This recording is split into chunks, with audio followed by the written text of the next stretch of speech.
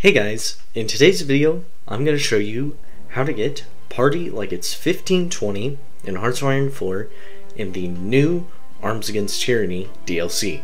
So, first off, to get this achievement, you need to take over Stockholm as a communist Denmark. Now, you might be thinking that we're going to go immediately into uh, communism, because that's part of the achievement, but actually we're going to go monarchist then communist, because the monarchist tree makes it a lot easier to take over Sweden without the Allies guaranteeing. So, even though this was showing on screen, I do want to talk about the starting moves. So, you're going to take the first focus, reaffirm neutrality, and um, for your research, I would recommend trying to stay up to date with infantry, as that's going to be the most important technology because of how short this campaign is, but also keep up with like industry and some research speed bonuses as well. And then for industry, you're going to be building uh, civilian factories for a while um, in the beginning, and then for uh, military industry, you can pretty much leave it as it is until later.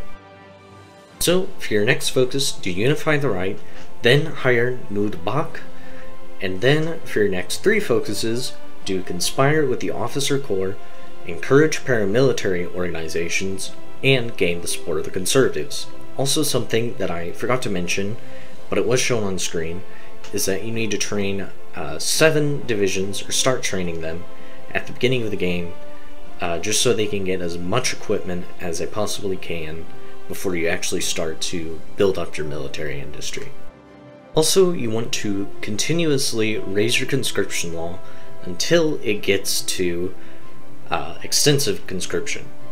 And also, for those divisions I was telling you to train, make sure that, that they are the smaller infantry divisions, not the cavalry, the smaller infantry divisions, um, since you won't have a whole lot of manpower to uh, do the larger infantry divisions.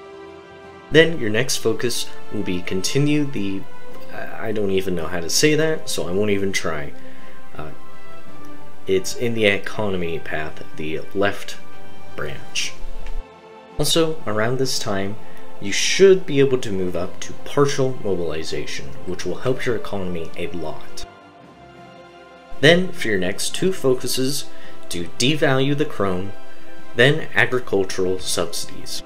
Also, you should be doing the uh, balance of power decisions, criticize our preparedness, and question our defenses, since you will need uh, around over 30% uh, military spending to get the monarchy. The last audio clip I actually meant uh, so you can do Scandinavian security as a focus, but now we're going to do overthrow the government and then put the king in power as our next two focuses.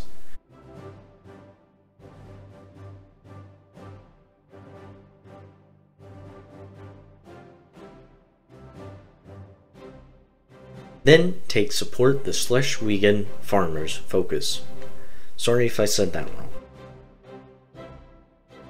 Then, once you have around 150 surplus of support equipment, we're going to cancel the production of support equipment, then put 10 factories on infantry equipment, then create a new production line for support equipment with one factory assigned to it, just so um, your infantry equipment gets prioritized as we start getting more military factories through these next few focuses.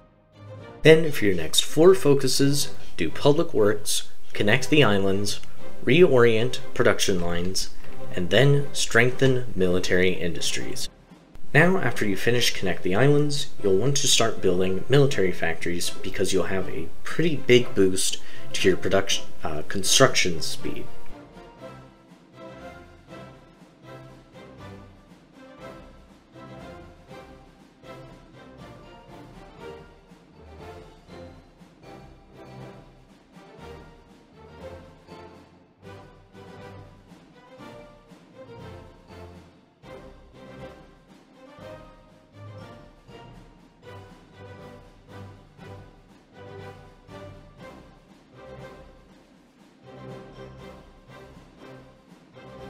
Your next focus, do seek protection.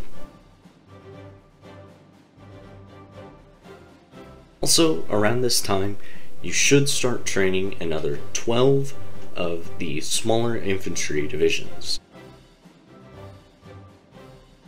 After Seek Protection is finished, um, I would recommend deploying uh, some of those divisions that you're training just to make sure that you have enough manpower in order to do Scandinavian security next. After you finish Scandinavian security, uh, there will be a, an event that asks you, um, I guess, what your stance on neutrality is. And so for this achievement, we are going to create a faction just to get rid of the debuff that the uh, Declaration of Neutrality gives you. Your next two focuses do for King and Fatherland, and then do expand the Royal Guard. Also, um, after, like just right after you select for King and Fatherland, you should have enough political power to replace Knud with the Communist Revolutionary. And now this begins your path of switching your ideology. Then, once you get to over 10% communist support and um, 75 or more political power, you should take the decision, um, open up political discourse. Once you finally um, have a surplus of infantry equipment, you should deploy all of the remaining divisions that you have training, and then half of them, which should be the uh, less trained divisions of your army, will be uh, garrisoning your ports. I would recommend actually garrisoning Copenhagen because it might make um, the Swedish AI put more troops on that strait, which will make it harder to get across later. You also should assign the infantry officer as your field marshal because you should be able to get infantry expert immediately as one of his traits, which is a pretty decent bonus. Also, you now want to start uh, training these divisions even more. So what you'll do for that is shift click on the uh, gear button and this will exercise your troops until they hit elite rank, which gives them a nice bonus uh, to combat. Then you'll want to take Secure Swedish Steel as your next focus. Also, to help you change ideologies faster, I'd recommend doing anti-democratic and anti-fascist raids when you can. Then, when your divisions uh, that are set up on the Swedish border are done exercising and are at elite rank, you should declare war on Sweden.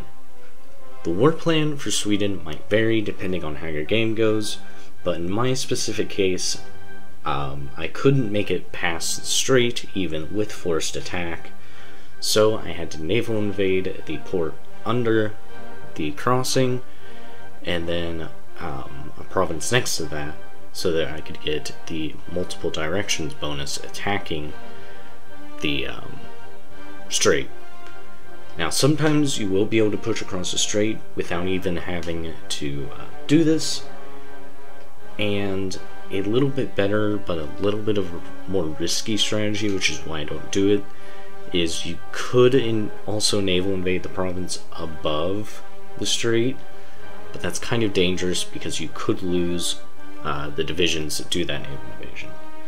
So in my case, I put four divisions on that port under the strait, and then three divisions on the province to the right of the strait.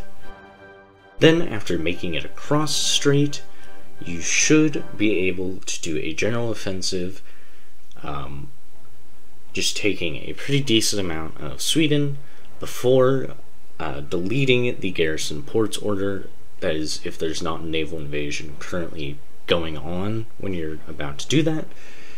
And then assign all of your divisions to one army and have them do just one battle plan to knock Sweden out.